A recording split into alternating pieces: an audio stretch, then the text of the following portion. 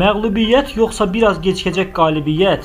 Son bir həftədir Azərbaycanda və Türkiyədə insanların ən çox verdiyi sual budur. Azərbaycanın 44 gün ərzində qalibiyyətlə başa vurduğu hərbi əməliyyatlardan sonra siyasi həll mərhələsi 12 gündür ki davam edir. Hərbi həll boyunca qardaş Türkiyənin mənəvi siyasi dəstəyini hiss edərək zəfərə nə qədər inamla addımladıqsa, Bu gün siyasi mərhələ üçündə eyni dəstəyi görürük. Ancaq suallar çoxdur. Rusiya niyə burdadır? Onlar hansı səlahiyyətlə Qarabağda humanitar addımlar atırlar? Putin niyə görə Qarabağla bağlı fərmanlar verir? Suallar çoxdur. Biz Azərbaycanda bir çox media quruluşlarından fərqli olaraq hansısa maraqlar naminə bu sualı verən səmimi insanları aşağılamaq yox, onlara baş verən hadisələri obyektiv şəkildə çatdırıb öz məntiqləri ilə nəticə çıxarmalarının tərəfdarıyıq. Dünya dəyişir, həm də çox sürətlə. Xəritələr, iqtisadi maraqlar, siyasi yön, yanaşmalar dəyişir. Bunun səbəbi isə dünyamızın yeni bir dönəmə qədəm qoymasıdır.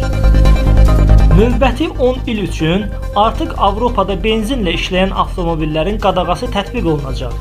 Bəlkə də daha tez.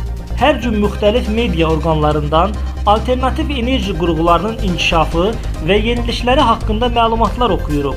Bəli, dünya artıq neftlə yollarını ayırır. Bu isə dünyanın artıq yeni düzəndə idarə olunacağını, ortaya yeni güclərin çıxacağına zəmin yaradır. Bu yeni dövrün anonsunu isə illik üz qabığı ilə hər il böyük səs-küyə səbəb olan Economist jurnalıdır.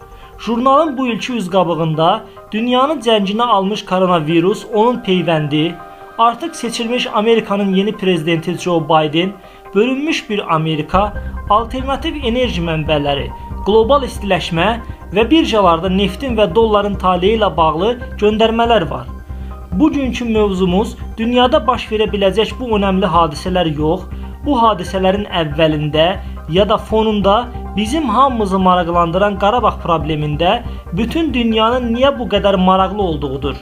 Fikir verdiksə, münaqişənin hərbi həlli dövründə az qala neytrallığını maksimum qorumağa çalışan Amerika xaricində bütün dünya Türkiyə ilə Azərbaycanın bu haqlı davalarına qarşı çıxmaları idi. Gəlin diqqət yetirək. Hər şey bu xəritənin başındadır. Neft erasının sona çatdığı bir dövrdə eyni millətdən olan iki dövlət dünyanın ən böyük materikinin tam ortasında iki qitəni birləşdirir. Artıq bir neçə il sonra neft və qaz kəmərlərinin əhəmiyyəti qalmayanda bütün dünya ölkələri öz iqtisadiyyatlarını inkişaf etdirmək üçün ticarətlərini maksimum gücləndirmək istəyəcəklər. Ticarətdə isə ən xüsusi məqamlardan biri daşınacaq malların qısa və ucuz yolla daşınmasıdır. Türkiyə kimi böyük dövlətlər isə bunu daha öncədən görür və bu gün Qarabağda baş verənlər də məhz bunun nəticəsidir. 10 noyabrda Azərbaycan, Rusiya və Ermənistan arasında imzalanan bəyanata əsasən Azərbaycan Ermənistan ərazisindən Naxçıvana iki tərəfli yol açıb. Biri avtomobil, biri də dəmir yoludur. Baxın, ən əsas məqam budur. Neftin 140 dollara satılan vaxtında Rusiya eləcə də Azərbaycan kimi şəffaf xərcləmələri olmayan ölkələr gələcəklərini sual altına atmış oldular.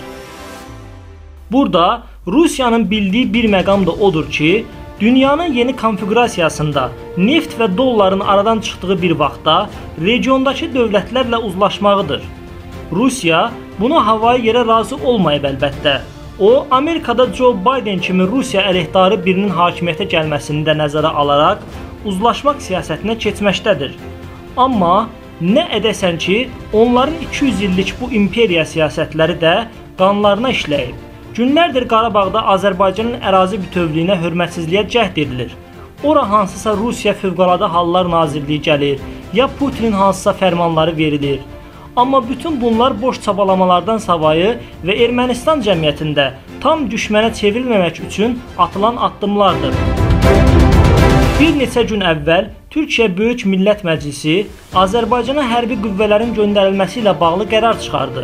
Ardıca Milli Müdafiə naziri Hulusi Akara bütün hazırlıqlarını tamamladığını və quru qoşunlarının Azərbaycana dislokasiya üçün tam hazır olduqlarını bəyan etdi.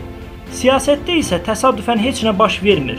Artıq bu gün Putin bir daha bəyan edib ki, Dağlıq Qarabağ və ətraf rayonları mübahisəsiz Azərbaycan əraziləridir.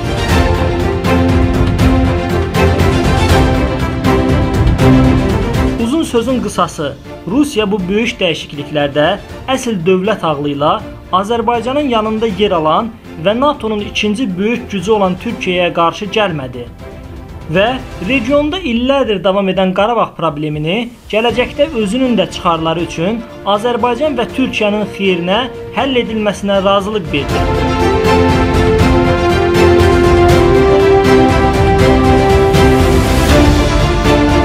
Biz isə bir müddət daha səbirli davranaraq proseslərin Azərbaycanın xeyrinə yekunlaşmağına çalışmalıyıq. Ancaq bu o demək olmamalıdır ki, ara-sıra özünü bəlli edəcək Rusiyanın əzəli xislətini unutmalıyıq. Xeyr, biz də cəmiyyət olaraq daima onları yaxşı tanıdığımızı bəlli edib, onlara aid olduqları yeri daima xatırlatmalıyıq. Etirazlarımızı etməliyik. Lakin ölkə daxilində milli birliyi pozmamaq, təxribatlara uymamaq şərti ilə.